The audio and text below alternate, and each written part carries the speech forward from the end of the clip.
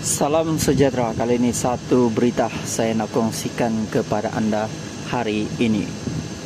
Sebelum itu bagi mereka yang masih baru di channel ini, sila pertimbangkan untuk menekan butang subscribe, like, komen dan share supaya anda tidak akan ketinggalan info-info menarik yang akan saya sampaikan di channel ini.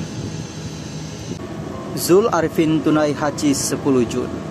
Kuala Lumpur selepas berkali-kali menunaikan umrah, rezeki berganda menyebelahi pelakon popular Zul Arifin apabila bakal menunaikan ibadah haji bulan hadapan. Zul atau nama sebenarnya Zulkifli Arifin itu sebenarnya tidak menyangka rezeki menunaikan rukun Islam kelima itu datang awal dalam hidupnya. Memang susah, memang sudah rezeki dijemput ke sana. Saya rasa teruja, sebelum ini pergi umrah pun teruja. Juga, cuma haji lautan manusianya, kita tak tengok lagi macam mana. Kalau dulu tengok dalam televisyen, sekarang kita rasai pengalaman menunaikan haji itu sendiri. Dekat sana nanti musim panas sangat panas 45 darjah Celcius sekarang. Kongsi pelakon berusia 37 itu semasa lawatan media film di lapangan terbang lama Sungai Besi di sini malam tadi. Kat Kongsi Zul yang memainkan peranan sebagai Sarif dalam film Arhan Sarif Yusuf dia akan berangkat ke Tanah Suci pada 10 Jun depan. Saya akan pergi tunaikan ibadah haji pada minggu kedua bulan Jun depan. Dalam 10 Jun macam tu, saya berangkat ke sana. Rembengan jemaah hari pertama dan mula berlepas sekitar 20 hari bulan. Tempoh hari, saya menerima jemputan tapi bukan melalui tabung haji katanya. Salam sejahtera. Kali ini satu berita saya nak kongsikan kepada anda hari ini. Sebelum itu bagi mereka yang masih baru di channel ini, sila pertimbangkan untuk menekan butang subscribe, like, komen dan share supaya anda tidak akan ketinggalan info-info menarik yang akan saya sampaikan di channel ini. Tania kepada Berani Pos. Perkara benar Netizen puji Jeb sepatu kongsi hukum sambut Hari Ibu. Hari Ibu merupakan hari istimewa yang ditumpukan kepada seluruh para ibu di dunia atas segala jasa yang telah dilakukan. Namun begitu, pelawak dan penyampai radio terkenal, Jeb sepatu tampil membuat teguran kepada umum. Menerusi video di laman Instagram dalam kurungan IG, Jeb atau nama sebenarnya Muhammad Nazri Zainal Abidin memuat naik satu perkongsian daripada pendakwa Ustadz Azhar Idrus mengenai hukum orang Islam yang menyambut Hari Ibu. Dalam video tersebut, UAI mengatakan bahwa haram dan berdosa besar jika seorang individu yang beragama Islam menyambut hari menyambut Hari Ibu yang jatuh pada 14 Mei itu. Tindakan Jeb sepatu tersebut meraih perhatian netizen yang disertakan dengan caption yang ringkas.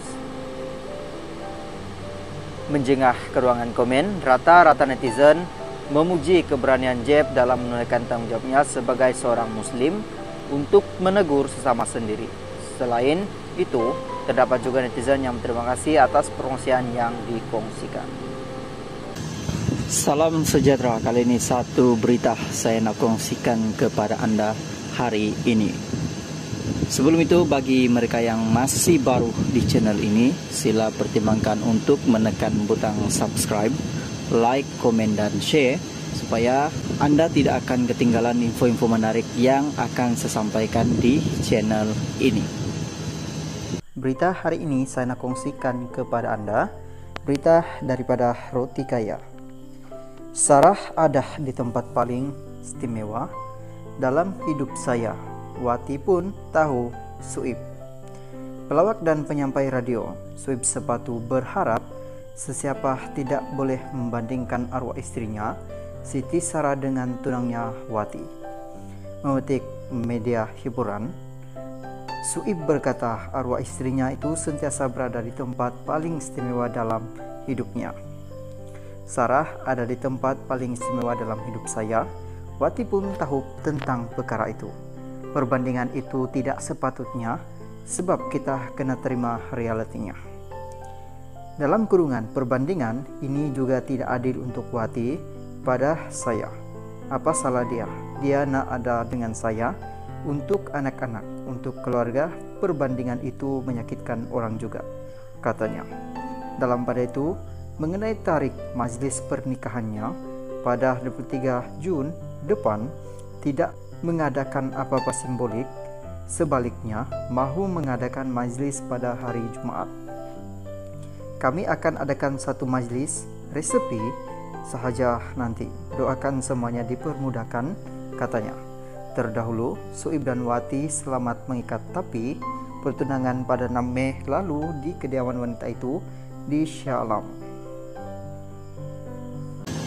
Salam sejahtera kali ini satu berita saya nak kongsikan kepada anda hari ini.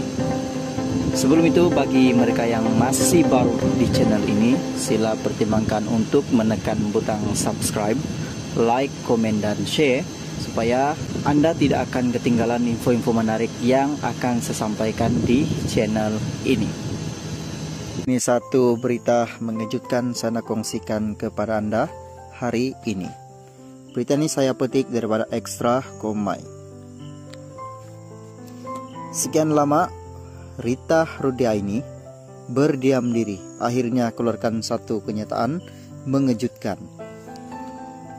Arwah datenang dengan bidadari surga, hantaran curi perhatian, Rita Rudiaini, tempelek siapa? Baru-baru ini pelakon jelita Rita memuat naik sebuah hantaran di Instagramnya mengenai pertanyaan orang ramai yang sering diterimanya. Apa yang menarik perhatian Rita seperti memberi bayangan hantaran tersebut berkenaan dengan hubungannya bersama bekas suami dan menggelarnya sebagai si arwah.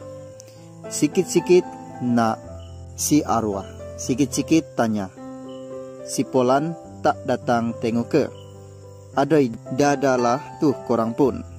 Kenapa sebelum ini pernah nampak arwah berjasa or?